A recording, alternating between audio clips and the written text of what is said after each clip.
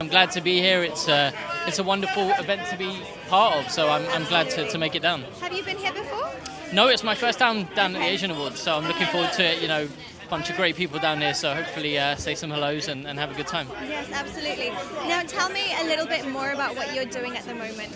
Well, are uh, you guys filming season two? We are. We go back in August, um, back to Sri Lanka. We shoot season two for, for the Good Karma Hospital, so everyone's looking forward to it. They've started pre-production, so the we're sort of just. had great reception. how do you feel about that? Are you happy and positive? Yeah, really great and happy and positive. You know, the the show did so well. Kind of, I think it exceeded all our expectations, and and we were pleased. And the audience were really receptive and sort of responded to it. So we couldn't have been happier, to be honest with you. And hopefully we can do that again next year. And and fingers crossed for the same reaction. I think it's a great show because it, it brings so much happiness and positivity with such a good message, and Thank it's something that we, we don't see in a lot of shows. Yeah, no, we felt this. We felt the same. You know, when we all got the scripts and we all came on board, it, it was it was we felt the same feeling. You know, you don't see too many Asian characters in, in, in a prime time TV show like this, especially on ITV. ITV. So we were we were incredibly grateful to, to have this opportunity, and, and like I said, the audiences have been great. So listen, fingers crossed we can keep going.